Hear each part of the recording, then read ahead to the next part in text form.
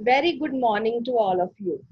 I am Devinder Kaur, Assistant Professor in Economics at Government PG College, Sector 1, Panchkula, Haryana. Today, our topic of discussion is impact of COVID-19 on Indian industrial and services sector employment. COVID-19, a word. Every human being on this earth now aware about this concept COVID-19. This COVID-19 has impacted us not only economically, but socially, politically, and psychologically. And it has impact on our Indian economy as so many workers, so many people lost their jobs. So today, our topic is impact of this COVID-19 on India's industrial and services sector employment. So, let's get started. जब भी हम किसी अर्थव्यवस्था के आर्थिक विकास की बात करते हैं तो सबसे पहले हम बात करते हैं उस अर्थव्यवस्था की जीडीपी की ग्रोथ रेट की किसी भी देश की, किसी भी अर्थव्यवस्था की आर्थिक हालत को हम उसकी जीडीपी से आंकते हैं तो अगर हम फाइनेंशियल ईयर 2019 और 20 की बात करें तो हमने अपनी जीडीपी को चार से पाँच प्रतिशत के बीच में आंका था, जो प्रोजेक्टेड ग्रोथ रेट थी हमारी that was four to five percent जबकि कोविड 19 के चलते हुए अप्रैल में अप्रैल मार्च के थर्ड वीक में सरकार ने कंप्लीट लॉकडाउन जो है वो अनाउंस कर दिया और ये पाँच अलग अलग चरणों तक चला। और अब जून महीने तक आते आते अब हमारा जो है अनलॉक प्रोसेस जो वो शुरू हो गया। तो अगर हम बात करें अप्रैल मंथ से ही इकोनॉमी की ग्रोथ रेट जो है वो काफ़ी तेज़ी से गिरना शुरू हो गई और ज़ीरो तक आते आते पहले दो से तीन प्रतिशत तक आंकी गई डिफरेंट रेटिंग एजेंसीज द्वारा। फिर ज़ीरो तक आते आते एट लास्ट जो है अब हम अगर बात करें ये मेरे पास मई मंथ का डाटा है, जो कि ब्रेंस्टन फॉरेस्ट है, जो इंडिया की ग्रोथ रेट को माइनस सेवन परसेंट में प्रोजेक्ट कर रहा है। ICAR five percent Nomura minus five percent S B I minus four point seven zero care rating minus one point five to minus one point six percent और Goldman Sachs जो है, वो भी minus five percent growth rate को project कर रहा है। तो इस तरह से हम देख सकते हैं कि ग्रोथ रेट हमारी बुरी तरह से प्रभावित हो चुकी है। अगर हम किसी भी देश की अर्थव्यवस्था को देखते हैं, अगर हम भारतीय अर्थव्यवस्था की बात करते हैं तो हम भारतीय अर्थव्यवस्था को तीन मुख्य भागों में बांटते हैं primary secondary and tertiary sector तो प्राइमरी सेक्टर का 2019 में जो जीडीपी में योगदान था, वो था 17 प्रतिशत और एम्प्लॉयमेंट में 43 परसेंट सेकेंडरी सेक्टर का 30 परसेंट जीडीपी में और एम्प्लॉयमेंट में 25 टर्शरी सेक्टर का जीडीपी में 54 और एम्प्लॉयमेंट में 32 परसेंट तो सर्विसेज़ सेक्टर का 54 परसेंट योगदान होना एक तरह से हमारी देश का विकासशील होने का सूचक है कि हम अपने देश में जो है सर्विसेज़ सेक्टर का जो योगदान है जीडीपी में काफ़ी अधिक है। Now we come to the unemployment rate आप देख सकते हैं कि फेब्रवरी 2020 में जो हमारा अनएम्प्लॉयमेंट रेट था that was just only 7.76 percent जो कि बढ़ के कितना हो गया? अप्रैल तक आते आते 23.52 परसेंट यानी कि अनएम्प्लॉयमेंट रेट हमारा बहुत ही तेज़ी से बढ़ा। सात परसेंट से सीधा ही हम 24 परसेंट तक पहुँच चुके हैं। और अलग अलग अगर अगर डिफरेंट स्टेट्स की बात करें तो पुडुचेरी में देखिए 75.8 हरियाणा में 43.2 झारखंड में 47 परसेंट ये अनएम्प्लॉयमेंट रेट है। और अगर हम ग्राफ के ज़रिए देखना चाहें तो हम देख सकते हैं कि अनएम्प्लॉयमेंट रेट कैसे यहाँ पे सात और आठ परसेंट के बीच में, और ये देखिए यहाँ गिरकर छह प्रतिशत, फिर ये बढ़ रहा है, फिर बढ़ रहा है। फिर घट रहा है। और ये सात आठ के बीच में ही ये स्क्रोल हो रहा है, लेकिन फिर एकदम से जाकर यहाँ पे 23 परसेंट पर हमारी एम्प्लॉयमेंट रेट बढ़कर पहुँच गई। ये सी एम आई का डाटा है। तो कैसे लेबर मार्केट को प्रभावित किया? सर्विसेज़ सेक्टर में जो नॉन असेंशियल सर्विसेज़ थी, उन सबको बंद कर दिया गया। सिमिलरली गुड्स के प्रोडक्शन को बंद कर दिया गया। लोगों की को बहुत ज़्यादा रोज़गार में कमी आई, कीमतों में बहुत तेज़ी से कमी आई, जिससे कि ट्रेड पोजीशंस जो थी लोगों की वो बहुत ज़्यादा खराब हो गई प्रोडक्शन कम हो गई ट्रेड कम हो गया, यातायात और आवाजाही के साधन बंद हो गए, जिससे कि बहुत सारे बिजनेसमैन जो माइक्रो एंटरप्राइजेस थे, जो इनफॉर्मल सेक्टर में काम कर रहे हैं, उन सभी को नुकसान हुआ। यंग वर्कर्स पढ़े लिखे जो कि अपनी डिग्रीज पूरी कर चुके थे, जो इंटरव्यूज़ दे चुके थे, वो भी अपनी जॉब मार्केट में एंटर करने से रह गए। डिले का सामना उनको भी करना पड़ा। सिमिलरली रिफ्यूजीज और जो माइग्रेंट लेबर्स थी, उनकी सिचुएशन तो आप देख ही सकते हैं, सड़कों पर निकल आए, कैसे पैदल अपने घरों को जा रहे हैं, उनकी जो सबसे ज़्यादा दयनीय स्थिति जो थी।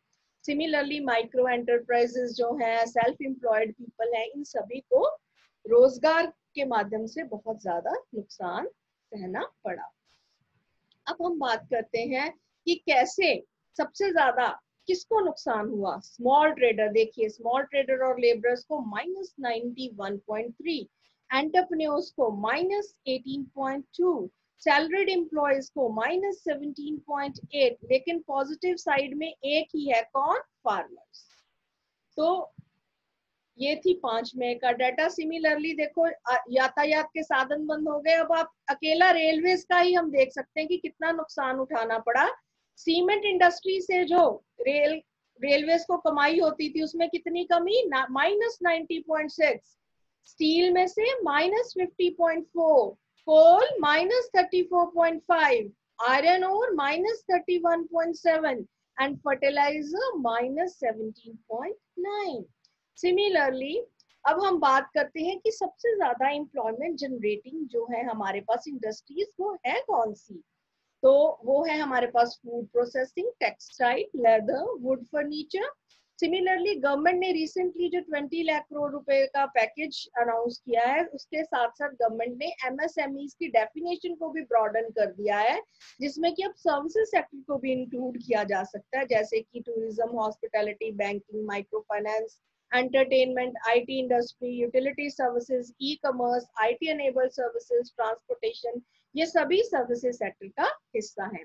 तो एमएसएमई किसी भी देश की बैकबोन है। अब बैकबोन हम इसको क्यों कहते हैं? बैकबोन इसलिए है क्योंकि ये लेबर अब्जॉर्बिंग है और बहुत सारे लोगों को रोज़गार प्रदान करती है। लेकिन सप्लाई चेन इंडस्ट्रीज़ जो है, सबसे ज़्यादा प्रभावित हुई हैं और बहुत सारी सप्लाई चेन इंडस्ट्रीज़ जो है, वो चाइना को छोड़कर नए एशिया में डेस्टिनेशन को ढूंढ रही हैं। और अगर इंडिया इस अपॉर्चुनिटी को, इस कोविड का जो प्रॉब्लमेटिक सिचुएशन है, इसको भी अपॉर्चुनिटीज़ में इंडिया कन्वर्ट कर सकता है। यहाँ पे अच्छा इंफ्रास्ट्रक्चर दे के, अच्छी सर्विसेज़ दे के आईटी इंडस्ट्रीज़ को और जितनी भी सप्लाई चेन इंडस्ट्रीज़ हैं चाइना में जो दूसरे देशों की हैं, उनको यहाँ पे वो इंडिया खींच सकता है। तो उसके लिए एक अच्छा इंफ्रास्ट्रक्चर बेस इंडिया को देना पड़ेगा।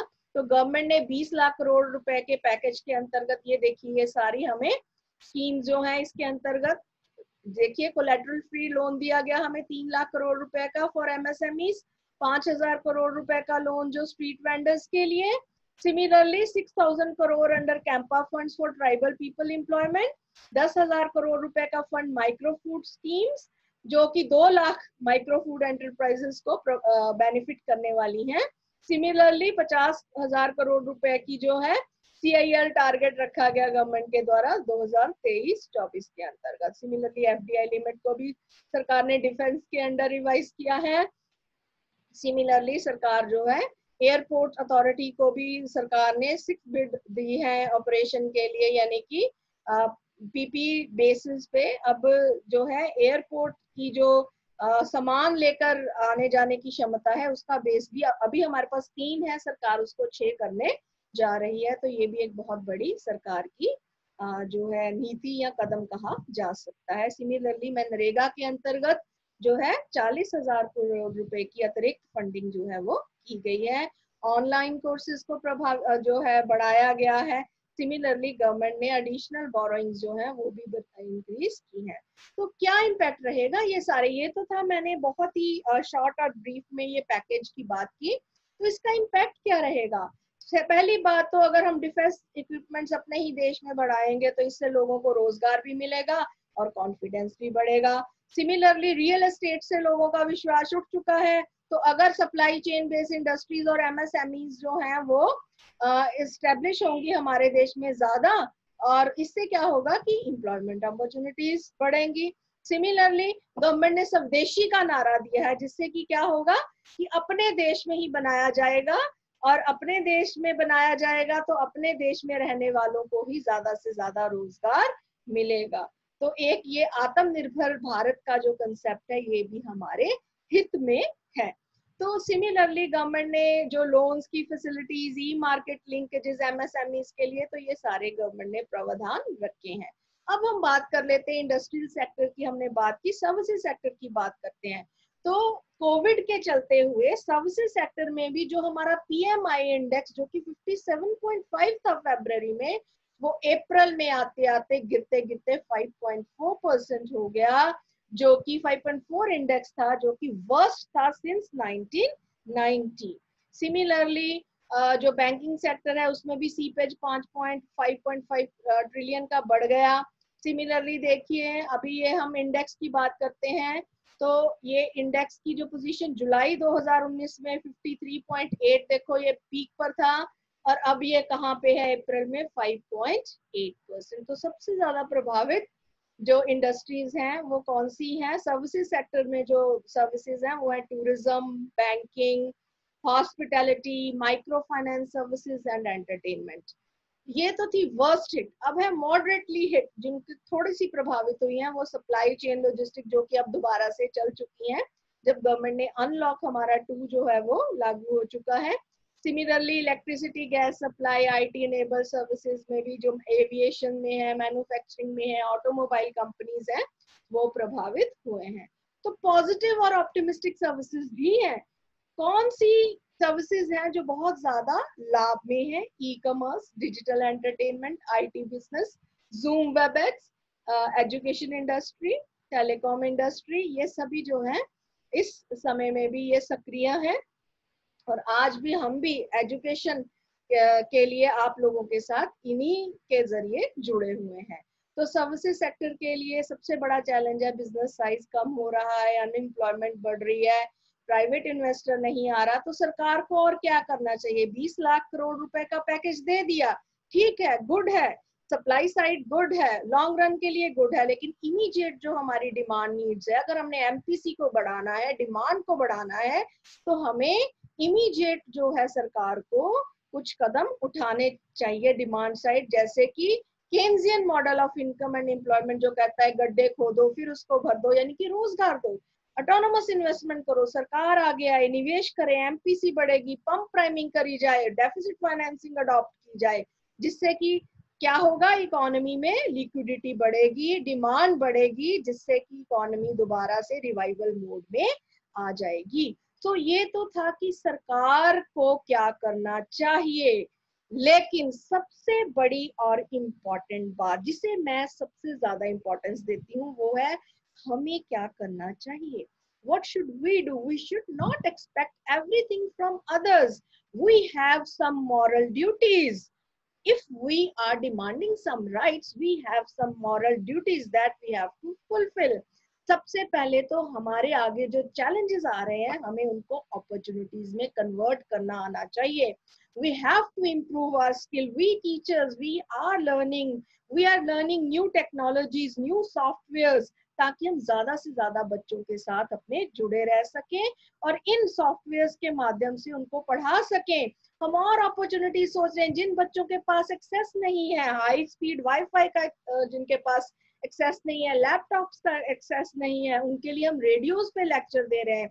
उनके लिए हम एजुकेशनल टीवी चैनल्स पर लेक्चर दे रहे हैं, ताकि हमारे बच्चे जो है, वो जो है एजुकेशन ले सके। सिमिलरली तो हमें अपनी स्किल्स को बढ़ाते रहना चाहिए नए नए आइडियाज़ इन्वेंशन और इनोवेटिव जो इनोवेशन है, वो करते रहना चाहिए। ये समय की ज़रूरत है।